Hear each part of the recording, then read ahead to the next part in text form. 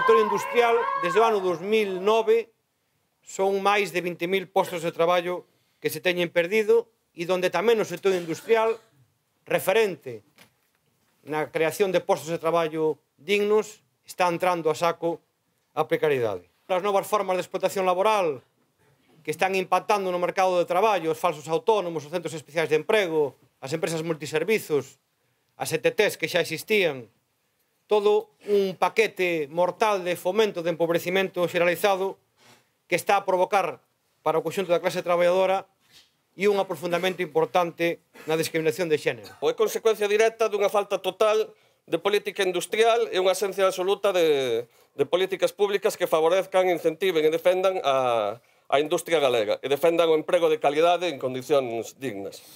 Os graves problemas que están afectando principalmente a Alcoa na Coruña e a Ferroatlántica en Cea e Sabón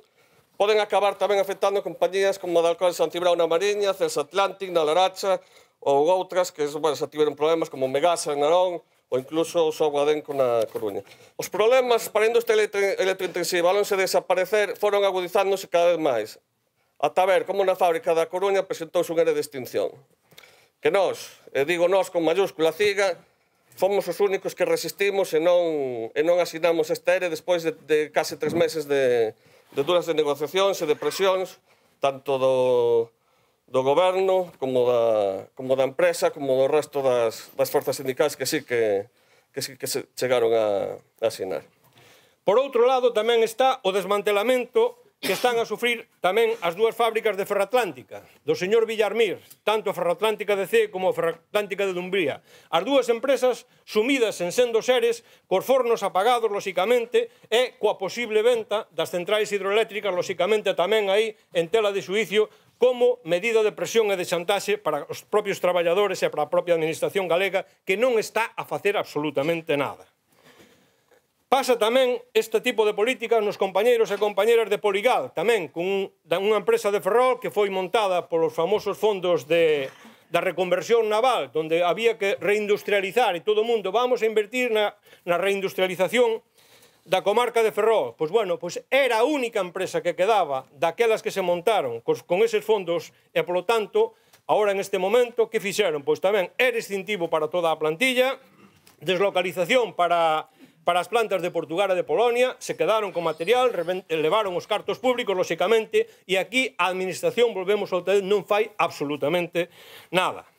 Nos non queremos ser eh, en Galiza a man de obra da automoción que vai a traballar coches low cost para o resto de Europa. E aquí se fala de ser competitivo reducindo salarios, aumentando producións. Nos falamos de ser competitivos con tecnoloxía, con unha tarifa eléctrica galega para a automoción. Falamos de ser competitivos con nós poder traballar e desenrolar e poder formar. Esa non é o plantexamento que queremos nos para Galiza. Nos queremos que se nos forme. Paralelamente a isto, eh, a primeiros deste ano, aproveitando como pretexto outra desastrosa posa de, de interrumpibilidade para seis meses, Ferroatlántica presenta un arte para as factorías que ten en España. E unha vez máis foi esta central sindical a única a manterse firme non, e non ceder e non asinar este, este ERTE. Xa impedimos no pasado, mediante a contestación, socio, contestación social e a mobilización, a venta das centrais. E non imos consentir nunca que se vendan e que se separen da produción das fábricas, porque suporía a desaparición das fábricas de Ced, Umbría, e a morte económica de toda a comarca. Queremos estamos tendo na automoción un dos problemas máis graves é a plantilla que está envexecida e as persoas que levamos 30 anos nunha empresa e se a empresa non fai por formarnos vamos a ter que marchar para casa e van a vir rapaces e rapazas a traballar por salarios super baixos, como estamos vendo, e o, o problema é que despois as empresas, aínda por riba, se non lle rentable, se nos marchan para Portugal, Polonia ou Marrocos desde a CIGA, e volvemos a decirlo moi claro, eh, que temos que seguir loitando polo que nos denominamos o complexo integral da construcción naval na ría de Ferrol, sin vetos e sin restriccións. Somos capaces a facer a construcción naval militar, pero tamén sabemos facer construcción naval civil ou, como decíamos, tamén sabemos facer traballo no campo de eólico. Porque non só os delegados e as delegadas vamos a ser capaz de mudar as cousas, temos os compañeros nas empresas que temos que intentar convencelos e decirles que isto é serio. É dicir, que non é, bueno, a mí non me vai pasar. No, e co ritmo que vamos nos vai pasar a todos. Creemos que as políticas que se están aplicando en materia industrial, tanto polo goberno do Estado como pola Xunta de Galicia, son, hai que dicirlo así de clariña, as que nos levan a esta situación, é dicir, son as que están eh, levándonos a esta perigo e a esta desaparición das nosas empresas, dende a CIGA xa levamos anos mobilizándonos e denunciando públicamente o problema que representa o alto precio da electricidade, tanto para a industria como para o consunto dos consumidores. Que fai, creo que era polo ano 2013, xa presentáramos o que nós chamamos un plan galego para o crecemento económico e a creación de emprego. É dicir, aquelas 100 medidas que realmente lle participamos, fixemos participar a sociedade, fixemos participar nas nosas eh, asambleas de delegados e delegadas, fixemos chegar aos grupos políticos, ao goberno da Xunta, donde realmente nós queríamos sentar as bases para un desenvolvemento económico e social eh, máis sostible o que significaría o, o aumento do emprego e, polo tanto, tamén a mellora dos dereitos sociais e a calidade da vida da maioría da poboación. Por eso, no 2015, esta central sindical iniciou unha campaña de mobilizacións a prol dunha tarifa eléctrica galega e levou, levou o debate ás empresas e á sociedade recollendo sinaturas para presentar unha ILP no Parlamento Galego de medidas para garantir a enerxía como servicio público contra a pobreza enerxética. Esta ILP foi admitida a trámite, pero estivo nos caixóns do Parlamento máis dun ano e cando finalmente foi tramitada e debatida parlamentarmente, bueno, pois desvirtuouse totalmente polo, e descafinouse polo, polo Partido Popular. Que tanto as familias como as empresas pois tiveran uns beneficios eh, derivados da nosa condición de país produtor, é dicir, somos excedentarios, o que se nos fai é que Somos penalizados e tamén xa o temos comentado polos chamados suplementos territoriales que eso nos supón pois un sobrecoste incluso nas nosas facturas domésticas e nas nosas facturas na produción industrial. Fomos a primeira organización, tanto sindical como política, en facer unha proposta seria para a creación dunha tarifa eléctrica para a industria electrointensiva. Tan seria que o propio Consello de Industria, Francisco Conde, a leva na, na carpeta. Tan seria que agora estás a falar a diario na prensa do Estatuto das Empresas Electrointensivas. E fomos os primeiros que falamos da creación dun estatus especial para estas empresas, para dotalas dunha tarifa industrial máis barata, eliminando da factura as peaxes políticas que non ten, que non ten nada que ver ca produción e distribución da, da electricidade. Despois, cando falamos da tarifa galega para automoción eléctrica, eh, eh, o País Vasco sí ten unha tarifa eh, para, para eles, que é a, a Euskapeaxe. En Cataluña se acaban de facer os circuitos pechados para que as empresas poidan ter a corriente moito máis barata. Non somos produtores e exportadores da corriente. Deberíamos de ter unha corriente super barata. E deberían as nosas empresas poder ser máis barata, poder producir. O que significaría que se a corrente é moito máis barata, os traballadores tendríamos millores condicións e millores salarios. Pero aquí a doutrina é baixemos os salarios, baixemos as condicións e non seguimos a ganar. Dende a CIGA se elaborou unha proposta do sector da automoción que se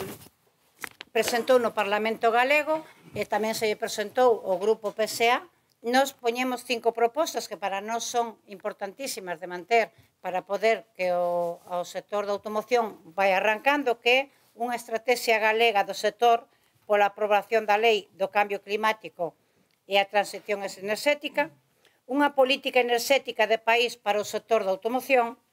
un plan de rejuvenecemento dos cadros de persoal, unha formación de cara ao novo sistema de fabricación e as medidas sectoriais. E, pois, a aplicación dun convenio sectorial da empresa principal a todos os traballadores e traballadoras do sector da automoción e impulsar un plan galego para a industria da automoción que nos no que se recollan medidas de apoio de I máis de máis no sector. Pero sempre, con todas estas propostas que fixemos, sempre nos topamos un muro. E o muro é, chamase Partido Popular, o muro chamase Xunta de Galicia, o muro chamase Goberno do Estado, o muro chamase conselleiro ou ministra ou ministra de turno. É totalmente inaceptável que nun país como o noso, que produce electricidade as galla, pechen as nosas empresas por non poder soportar o, o elevado precio que ten a, a enerxía. Por todo isto, e polos sectores tamén da construcción naval e da automoción e de toda a industria galega, saímos hoxe a rúa na defensa da industria e do emprego en Galicia. E por todo isto sempre verdamos na rúa enerxía a solución. Convocamos coa intención de que enchamos as rúas do noso país para exixir un cambio real e profundo nas políticas que se foron executando estes anos coa excusa da crise e que estamos a ver que con o seu resultado medra a pobreza laboral, a perda do poder adquisitivo dos salarios e o aumento das desigualdades vai en aumento. Pero un goberno tamén de Pedro Sánchez que demostrou que non ten intención real de cambiar estas políticas, nin as nocivas políticas introducidas coas reformas laborais, pero tampouco as políticas económicas neoliberais que manteñen esta economía, este sistema económico de economía especulativa, de economía de casino, negadora, esmagadora da economía productiva, e que para nós está sendo un des, estáse significando nun desmantelamento industrial, na deslocalización de empresas ou na entrada a saco de fondos de investimento estranxeiros en sectores estratégicos da nosa industria. En esta realidade tamén vemos como un presidente da Xunta que xoga ao postureo, que vive moi acomodado a ser moi servil, moi sumiso na práctica, na realidade, as políticas que tanto desde Madrid ou desde Bruselas, políticas antisociais, políticas antigalegas, que el critica aparentemente con un discurso fraudulento contra Madrid, como si, ademais, se non tivese nada a ver co que está pasando no noso país, como se acabase de chegar, mentres que as súas accións demostra que non ten vontade para facer absolutamente nada para evitar este dano que está a provocar as políticas liberais no noso país, nin para frear o que nós dixemos que vivimos que é unha auténtica situación de emerxencia nacional e social no noso país. Lamentable conselleiro, lamentable goberno, que non ten vontade de tomar ningunha soa medida para a creación de emprego digno na nosa terra, que permita un mínimo desenvolvimento económico, industrial e social en Galiza, que nin siquiera fai nada para que no país produtor de enerxía non nos apaguen as luces na casa ou as nosas industrias pechen porque non poden aproveitarse de que sexamos exportadores de enerxía e vexamos como vascos e cataláns, os vascos a través da tarifa eléctrica vasca, ou os cataláns, como decía María, a través do Real Decreto que o 7 de decembro aprobou o goberno, a petición esa concreta que fixo Esquerra Republicana dos circuitos pechados que, en definitiva, significa unha solución para que a industria catalana poida acceder a unha tarifa eléctrica máis barata. E neste sentido tamén denunciamos o papel da xunta e o papel da patronal que están a colaborar ca súa pasividade ante esta grave situación industrial que temos en Galiza. Que acalan, que anegan, que non din absolutamente nada ante a falta de inversión que fenosa no emporio que ten o noso país non quere facer para que a central térmica de Meirama poida seguir como en Endesa producindo de acordo ás normativas medioambientales europeas que queda de brazos cruzados ante o que sucede en Alcoa e en Ferroatlántica, pese a ser moitas e variadas as propostas que desde a CIGA se lle ten formulado desde a mobilización, pero tamén con propostas para efectivamente salir da situación de incerteza permanente que hai nestas fábricas, ou que se resisten a actuar no caso de Poligal, pero en cambio utilizan ENCE, utilizan o caso de ENCE para seguir negándose a conseguir un traslado das actuais instalacións para que a continuidade dos postos de traballo se faga nunha industria que peche e complete o proceso productivo en Galiza e con elo teñamos unha auténtica industria da transformación da nosa masa forestal, dunha masa forestal variada, compatible con outras especies e que permita outras actividades no territorio, de marisqueo, de pesca, pero tamén sexa compatible con actividades como a gandería e outras actividades agrarias. Defendemos, pois, unha industria e un emprego en Galiza que aposta por un plano galego de industrialización desde o sector público, que potencia e vertebre a industria galega, que priorice as inversións feitas polas forzas sociais galegas frente ás inversións estranxeiras. Unha industrialización na que os moitos recursos disponíveis que temos no noso país, recursos enerxéticos, mineiros, a riqueza forestal, estexan ao servicio da creación de emprego digno, de completar ciclos produtivos no noso país, de aumentar o valor engadido en sectores básicos da nosa economía, en diversificar as nosas capacidades industriais, en procurar un mellor equilibrio territorial e medioambiental e que estexan ao servizo da rendabilidade social e non da privada.